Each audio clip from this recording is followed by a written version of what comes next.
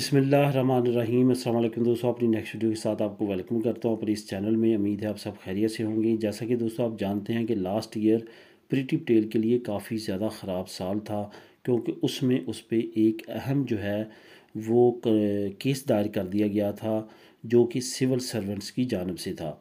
پریتی پٹیل جب سے home secretary بنی ہے ان کی وجہ سے ہوم آفس کے اعلیٰ عہدیداروں نے کافی زیادہ جو ایک درجن کے قریب انہوں نے رزائن دیے کیونکہ پریتی پٹیل کا بیہیویئر جو تھا وہ اچھا نہیں تھا۔ اس کے ساتھ ساتھ جو لاسٹ پرماننٹ سیکٹری تھے ہوم آفس کے انہوں نے بھی پریٹی پٹیل کی وجہ سے رزائن دیا تھا اور اس کے بعد اس پہ کیس کر دیا تھا، جو کہ پریٹی پٹیل نے بعد میں عدالت کے باہر ہی کمپنسیٹ کر کے ان کو رقم ادا کر کے وہ کیس ختم کروایا تھا۔ لیکن اس کے ساتھ ساتھ جو سرونٹ یونین تھی، انہوں نے پریٹی پٹیل کے خلاف ہائی کورٹ میں ایک کیس دائر کر دیا تھا کہ نہ صرف پریٹی پٹیل بلکہ بورس جانسن بھی اس تمام کارروائی کے مجرم ہے کیونکہ انہوں نے پریٹی پٹیل کو فل سپورٹ کیا، نہ کہ ان کو اس بات پہ جو ہے وہ ہٹایا اپنے عہدے سے کہ انہوں نے خلاف ورزی کی ہے جو منسٹیریل قوانین ہیں۔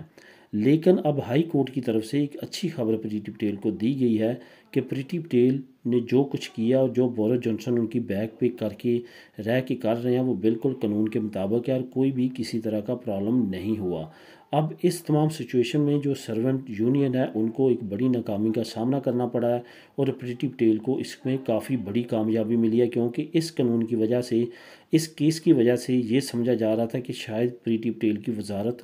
چلی جائے اور اس کی وزارت خطرے میں پڑ جائے۔ لیکن ہائی کورٹ کے اس فیصلے کے بعد اب پریٹی پٹیل پہلے سے زیادہ محفوظ ہیں اور اس کے ساتھ ساتھ وہ اب پہلے سے زیادہ اہم فیصلے کر سکتی ہیں۔ اس کے ساتھ ساتھ آپ کو یہ بھی بتاتا چلوں کہ بورس جانسن کی طرف سے بھی کافی خوشی کا جو ہے وہ بیان دیا گیا ہے۔ اس کے ساتھ ساتھ جو یونین کے اعلیٰ عہدیدار ہیں جنہوں نے یہ کیس کیا تھا، ان کی طرف سے فی الحال کوئی کیس، کوئی اس کیس پہ بات سامنے نہیں آئی۔ ہو سکتا ہے کہ وہ سپریم کورٹ میں اپیل پہ جائیں یا اس کیس کو، اس فیصلے کو مانتے ہوئے یہیں پہ ڈیسیجن جو ہے وہ کلوز کریں۔ اب دیکھتے ہیں نیکسٹ کیا آنے والی اپڈیٹ آتی ہے، لیکن پریٹی پٹیل کو اس کیس کی صورت میں ایک اہم کامیابی مل چکی ہے۔ تو دوستو، یہ آپ کے سکرین کے سامنے، اس کے لنک کے تمام نیوز بھی سامنے آ رہی ہوں گی، لیکن اگر آپ فری مزید ریڈ کرنا چاہیں تو اس کا لنک بھی آپ ڈسکرپشن میں کلک کر کے ریڈ کر سکیں گے۔ ملے نیکسٹ ویڈیو میں نئی نیوز اپڈیٹ کے ساتھ۔ اللہ حافظ۔